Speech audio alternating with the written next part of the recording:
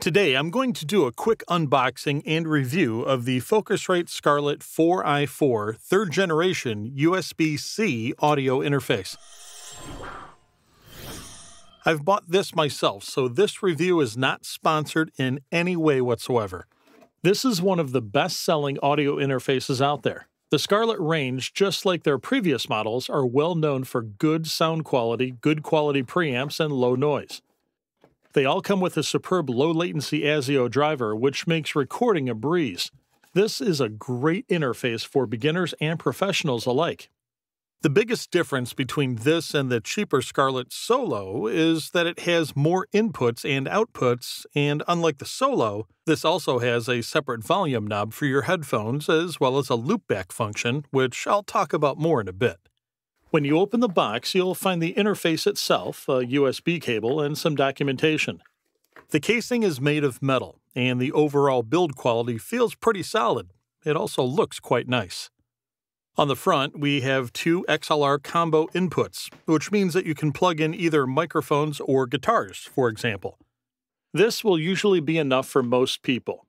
If you're an EDM producer and mostly use VSTs and such, then you don't really need a whole lot of inputs and outputs. And in that case, a device like this is really all you need. Here's the gain knobs. And the 48 volt phantom power.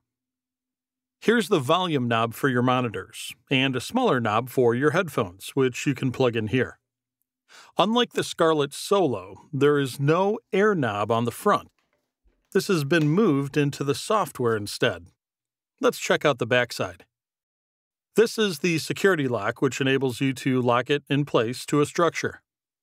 Then there's the USB C connection and the MIDI in and out. Here we have four outputs and two inputs in total, so you can hook up two different pairs of studio monitors, for example, and the stereo input from a synth or whatever here. It's bus powered, which means that it gets its power through the USB cable. The driver will be installed automatically when you plug it in. You can easily change the buffer size from this menu or directly from your DAW of your choice. This audio interface comes with its own low latency ASIO driver, and I recommend that you use it in order to get the least amount of latency. It will also allow you to play back sound from your operating system while you're working in your DAW which can come in quite handy.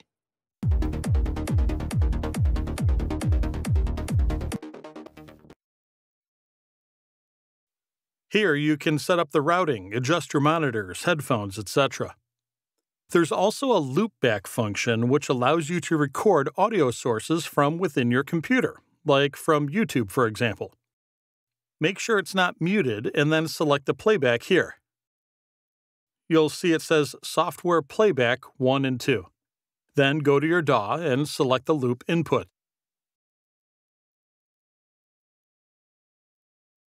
Let's find a YouTube video to capture the sound from. Now just press record, and it's as easy as that.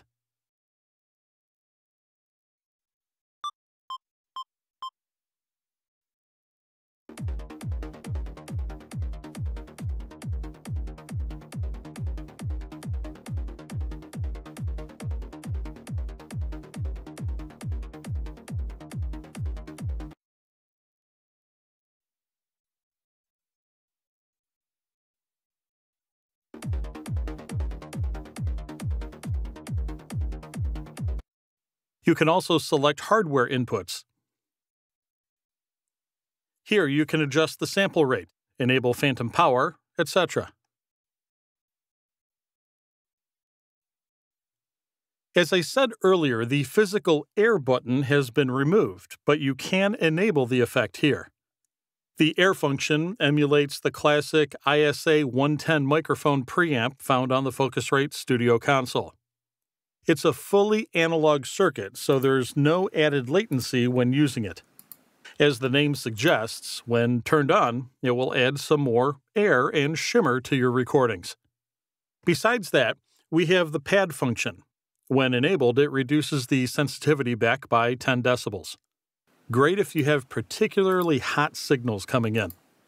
If there's a firmware update available for your Scarlett 4i4, then you'll get notified when you open the software. Here's a quick overview of the technical specifications.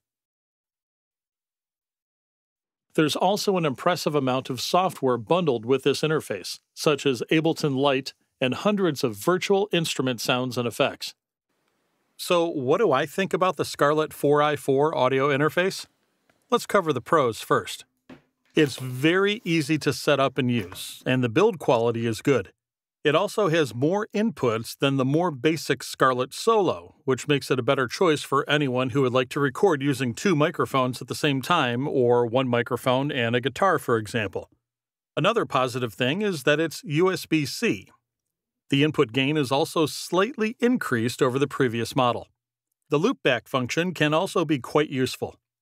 It's relatively small and sturdy, so you can easily bring it with you. The audio quality is great, and the software is easy to use. There's also a separate volume knob for your headphones, unlike the cheaper Scarlett Solo. Now, what about the cons? Well, there's not a whole lot of negative here, but there are some minor things I've noticed. If I'm working on a huge project and I need to increase the buffer size to max and then go back to Windows without changing it back, I do occasionally notice some minor sound crackling. The problem goes away when I change the buffer size back to default, though. I've noticed this with other USB audio interfaces as well, and not just on this computer. I've never experienced this with my old Firewire interface, though. So let me know in the comments if you've had similar experiences with USB interfaces. The only other negative thing I found with this is the placement of the volume knob for the headphones. It's very close to the monitor knob, and when the headphones are plugged in, it becomes a bit cramped in that area. It's not a huge problem, though, I just think the placement could have been a little bit more optimal. Another thing to keep in mind, and this isn't really a con, just something to be aware of with USB audio interfaces in general, they'll receive limited power from the USB port, so if you have a high impedance headphone, then you'll need an amplifier to drive them properly. This audio interface works with headphones up to about 200 ohms, and this will typically be the case with any USB powered audio interface. Despite some minor annoyances, this is a very good audio interface overall, and I have no problem recommending this. I wouldn't have bought it myself if it wasn't any good. It's currently one of the best selling audio interfaces in this price range, and for good reason. I'll put the Amazon link in the description below so that you can go check it out yourself. Hit that like button if you enjoyed this video, and don't forget to subscribe and click the bell if you want to see more videos like this.